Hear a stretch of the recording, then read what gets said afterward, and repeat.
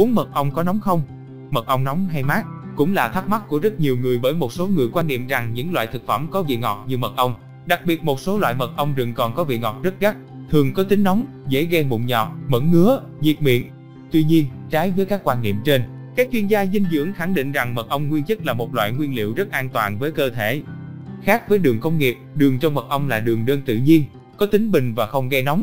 Việc người sử dụng mật ong gặp tình trạng nóng trong, mụn nhọt, nhiệt miệng, thường là do kết hợp với những nguyên liệu có tính nóng như gừng, nghệ. Vậy mật ong có tác dụng gì với sức khỏe? Mật ong có gây nóng không? Sử dụng mật ong như thế nào cho hợp lý và phát huy được hết tác dụng của nó? Chúng ta hãy cùng tìm hiểu rõ hơn trong phần tiếp theo nhé. Mật ong là một loại nguyên liệu thiên nhiên từ lâu đã rất được coi trọng, bởi nó được chứng minh là có nhiều tác dụng tích cực tới cơ thể con người. Khác với đường chế biến có thành phần chính là sucrose, thành phần chủ yếu của mật ong là đường fructose và glucose có nguồn gốc tự nhiên nên lành mạnh hơn rất nhiều. Bên cạnh đó, trong mật ong còn chứa hàm lượng cao các vitamin B1, B2, B3, B6, E, C và các nguyên tố khoáng vi lượng quan trọng mà cơ thể sống cần, bao gồm canxi, kali, natri, magie, sắt và iot. Vậy uống mật ong có tăng cân không? Theo số liệu nghiên cứu khoa học về dinh dưỡng thì cứ 100g mật ong tinh khiết có thể cung cấp cho cơ thể tới 304 calo, trong khi đó với đường là 387 calo. Vì vậy, nhiều người thường rất băn khoăn không biết uống mật ong có béo không, có tăng cân không. Thực phẩm cung cấp lượng calo cao không có nghĩa là thực phẩm đó sẽ dễ gây tăng cân hơn.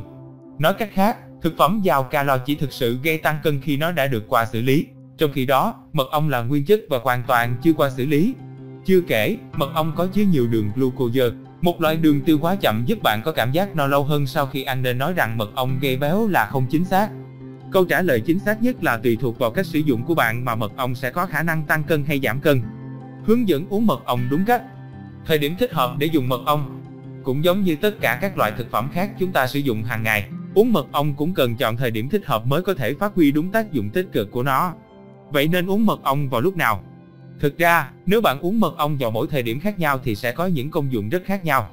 Uống trước bữa sáng, uống một thì nhỏ mật ong pha với nước ấm vào trước bữa sáng giúp dạ dày của bạn được làm sạch, cải thiện khả năng tiêu hóa, cung cấp năng lượng giúp tinh thần bạn được thoải mái, sảng khoái hơn. Uống vào buổi chiều, buổi xế chiều thường là thời điểm cơ thể cạn kiệt năng lượng sau một ngày làm việc nên dễ rơi vào trạng thái mệt mỏi và đói bụng. Một cốc trà mật ong hoặc sữa mật ong vào lúc này sẽ giúp bạn xua đi những cảm giác tiêu cực này mà không phải nạp quá nhiều calo vào người. Uống vào buổi tối, mật ong, đường, vitamin có thể điều chỉnh chức năng hệ thần kinh, làm giảm căng thẳng, thúc đẩy giấc ngủ đến nhanh và sâu hơn mà không có tác dụng phụ. Uống một cốc mật ong trước khi ngủ khoảng một tiếng có thể giúp bạn giảm bớt căng thẳng, đồng thời cải thiện chất lượng giấc ngủ. Uống sau bữa ăn, mật ong có tác dụng điều tiết chức năng tiêu hóa khiến dạ dày tiết axit nhiều hơn bình thường. Sau khi ăn, đặc biệt là sau khi ăn no, chức năng tiêu hóa của dạ dày dễ bị suy giảm gây ra tình trạng táo bón.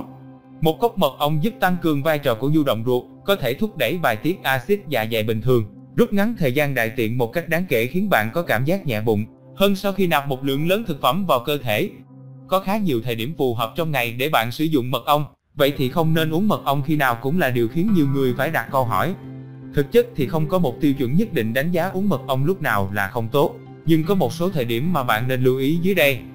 Khi đói, uống mật ong khi đói có thể gây chứng bụng, thận gặp áp lực lớn và phải làm việc nặng nề hơn, hệ bài tiết làm việc kém hơn, cơ thể khi vừa thức dậy, uống mật ong buổi sáng rất tốt, nhưng nếu bạn uống nó ngay khi thức dậy có thể sẽ khiến hai quả thận của bạn phải làm việc khá vất vả để thanh lọc chúng. Nên thay vì uống ngay một cốc nước mật ong, thì bạn nên uống một cốc nước lọc nhỏ rồi trước khi ăn sáng uống thêm một cốc nước hoặc sữa pha mật ong sẽ tốt hơn cho sức khỏe. Trước khi đi ngủ, uống mật ong trước khi ngủ khoảng một tiếng sẽ có lợi cho giấc ngủ. Nhưng nếu bạn uống nó ngay trước lúc ngủ sẽ khiến lượng đường trong cơ thể của bạn tăng lên, ảnh hưởng đến tim mạch, huyết áp, đặc biệt là với người cao tuổi, người có tiền sử bị bệnh. Mật ong kỵ với cái gì? Mật ong tuy là một loại thực phẩm lành tính nhưng theo đông y, khi kết hợp với một số thực phẩm đại kỵ, mật ong có thể gây ảnh hưởng xấu tới sức khỏe, thậm chí gây nguy hiểm cho người dùng. Khi kết hợp chung với các loại hành, hẹ, các loại hành, hẹ, khi kết hợp với mật ong có thể gây tiêu chảy, nặng có thể dẫn tới ngộ độc. Cá chép, mật ong và cá chép đều là những thực phẩm giàu dinh dưỡng được sử dụng nhiều trong cuộc sống thường ngày. Nhưng khi kết hợp ăn chung với nhau có thể gây ngộ độc, tiêu chảy rất có hại cho sức khỏe.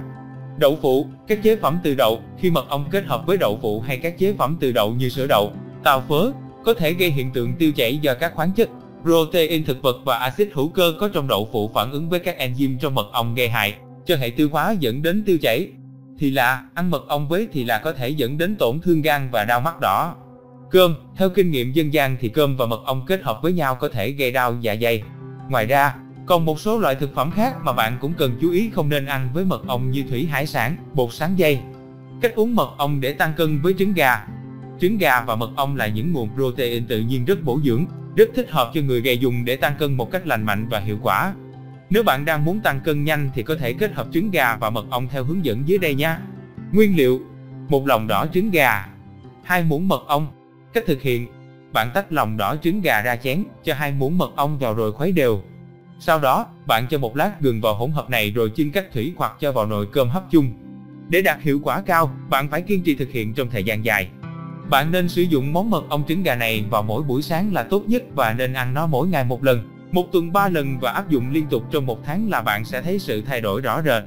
Cách uống mật ong hỗ trợ giảm cân Tinh bột nghệ và mật ong từ lâu đã được rất nhiều chị em sử dụng để làm thực phẩm giảm cân, làm đẹp da, điều trị thâm nám và ngăn ngừa tình trạng lão hóa bởi hai nguyên liệu này không chỉ chứa nhiều vitamin, khoáng chất có lợi mà còn chứa nhiều các hoạt chất chống oxy hóa tự nhiên.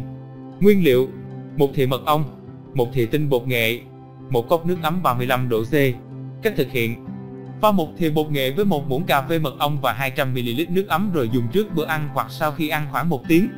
Bạn nên uống nó đều đặn mỗi ngày để việc giảm cân hiệu quả và nhanh chóng hơn. Một số lưu ý khi dùng và bảo quản mật ong. Sử dụng mật ong khá đơn giản, thuận tiện, chỉ cần hòa nước ấm uống là cũng có thể dùng được nhưng khi sử dụng mật ong bạn vẫn cần lưu ý. Chỉ nên sử dụng mật ong với nước ấm, không nên pha với nước nóng trên 60 độ C dễ làm các vitamin và khoáng chất trong mật ong bị phân hủy. Xem chi tiết, uống mật ong với nước ấm vào buổi sáng có tác dụng gì?